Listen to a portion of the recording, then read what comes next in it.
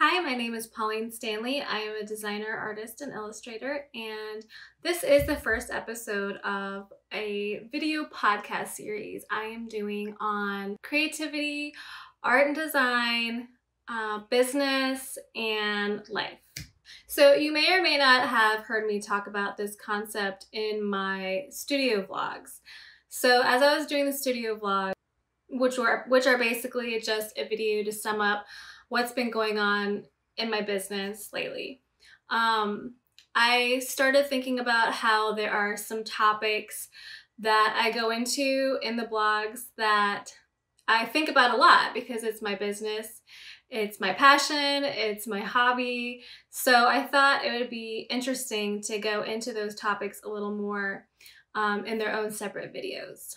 So the first two topics I'm discussing on this series is um, sort of having to do with finding your style. One element of finding your style, I think, is do you want to make art or design or whatever you're doing and do you want it to be very detailed and very representational? Do you want it to be very realistic?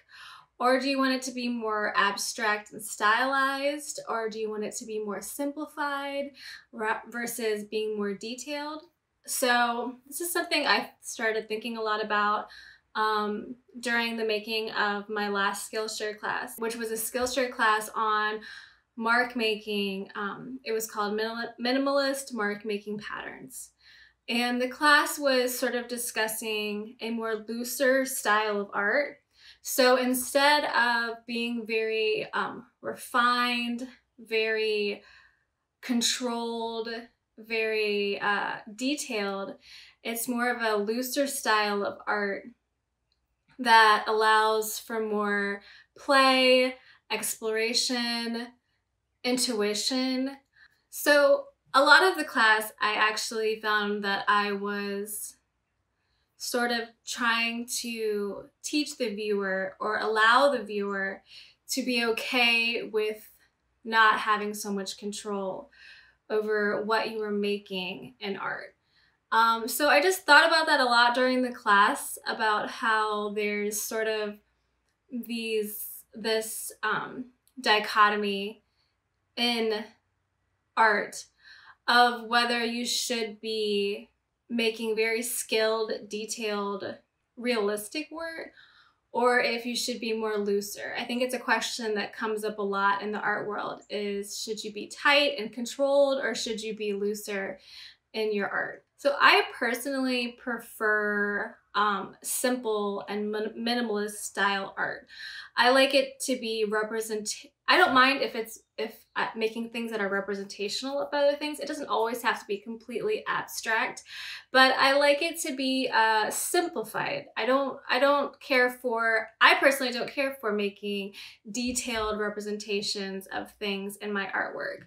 Um, I like some details maybe, but it's more um, I'm more interested in the style of something or uh, the way you do something or using something, a style or something in a certain way. And also, I actually don't, I mean, actually myself prefer even as an art viewer instead of just maker, I like to have, I like to look at art that's more simplified, bolder, graphic, pared down. It feels more calming. Um, it just resonates with me more. I certainly can appreciate people that can make detailed art and that can make realistic art.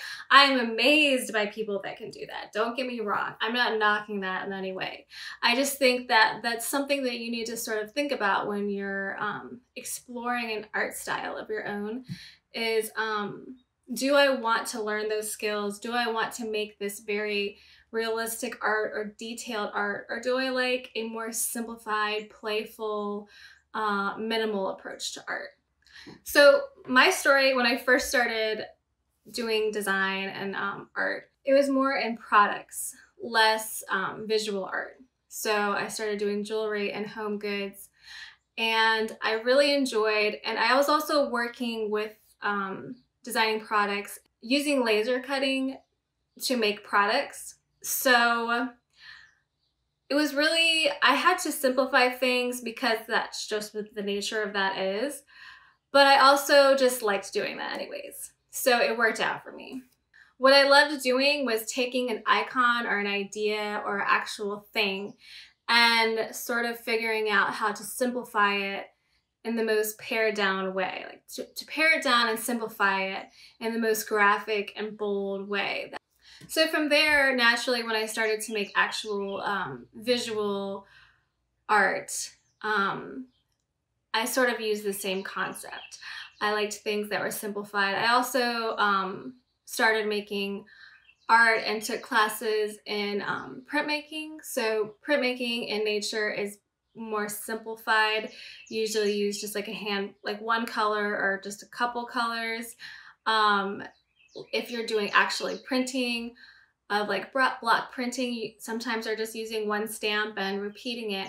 Um, I really like that sort of thing. I like one color. I like repetition of one item. So that's what I st sort of started playing with at first. And um, I also uh, did a lot of work with Illustrator at first when I was designing my products. So I first, when I started making art, I was making a lot of art in Illustrator, which lends itself to a more um, crisp, clean, minimalist style.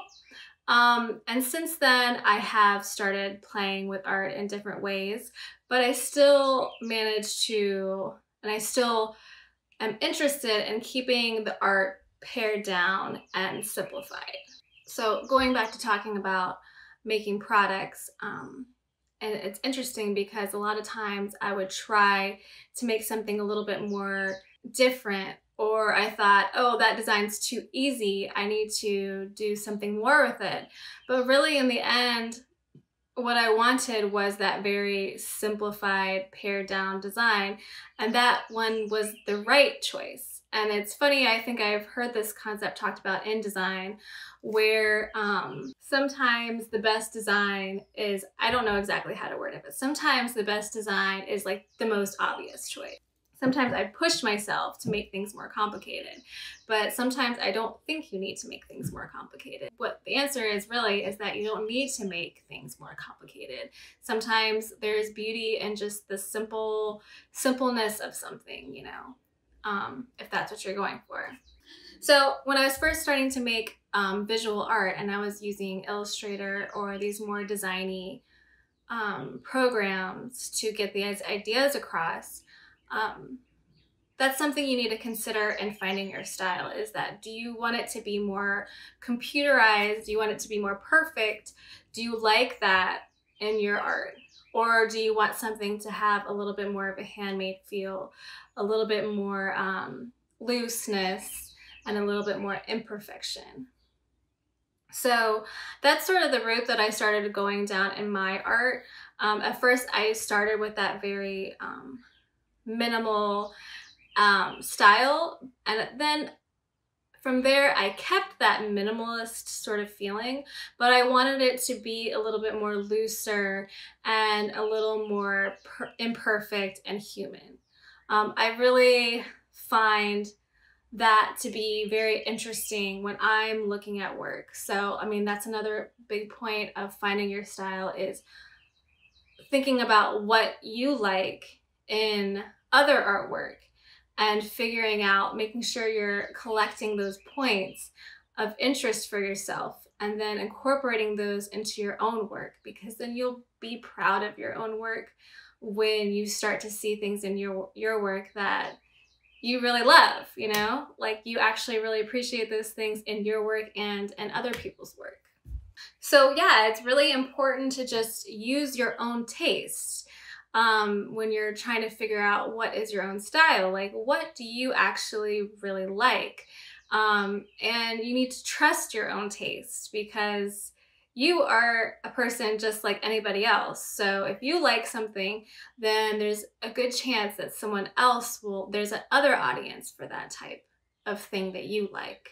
Um, I think a big part of like the direction of where I was going with my artwork too is also and this sort of loose, imperfect thing is um, also trusting your intuition.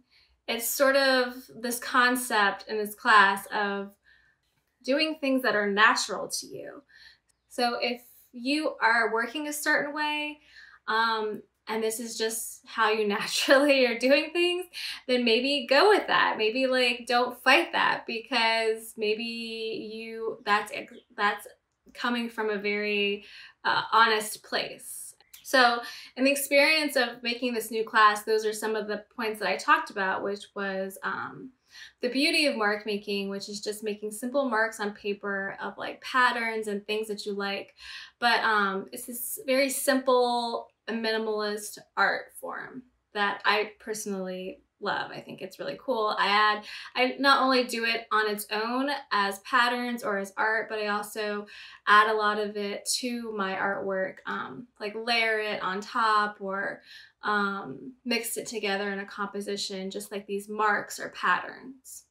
Um, why I love them is they're just handmade, they're imperfect, they are intuitive, they're playful, um, and I just really, I've just really grown to enjoy that style of art. So I actually still do sometimes, you know, it's really easy to achieve these things with things like watercolor because watercolor is almost like you have to give up control a lot of times and you have to let the the watercolor and the paint do its own thing. Um, so that's what the beauty of that medium and I really love it for that reason. But I also make digital art and I draw on my iPad. And when I'm doing that, um, I almost take the concepts I used in Illustrator, but I apply them to the iPad and I use the app Procreate to make a lot of art. Um, and I sort of like, just sort of like molding the art and like zhuzhing it out instead of like perfectly making the paths and the lines like you would in a computer like and you would in a um, software program like Illustrator. Um, I like to sort of use um, the program on the iPad like and use my own hands making these marks maybe with a little bit of smoothing or whatever with the aid of um, the software. But in general, I like to still try to find, let it find that um, human, earthy, imperfect element. And I do that a lot by just not trying to make things perfect, just like eyeballing things a lot of times, and also like using texture um, and things like that to give it more warmth and more of a handmade feel. I also find that it's um, harder sometimes with digital art to let go because when you are making art with paint or traditional medium, you often have like your one chance. I mean, you can do it over and over again, but it's less easy to do things over and over again. So you do these things and it's like, okay, that's what it is. We're working with that. When you're working digitally, you can undo, undo, undo, repeat, repeat, repeat until you get like the perfect mark. And um, I even when I'm working digitally, try to not do things again and again and again and again, and sort of um, try to be more intentional about going with those first few attempts instead of repeating something over and over and over again. And I also, regardless of what style and what medium I use, try to make sure I am doing that um, working intuitively and going with those initial attempts. And I really love to try to do things in a more naive, playful way when I'm making art instead of this very um, considerate, considered, intentional way of making art. I mean, sometimes I still do that, don't get me wrong. I think there's definitely a place for tight, controlled, um, artwork and I think that it's very beautiful. I just almost sometimes doing it because it almost feels better to make art in a more playful and like less serious way.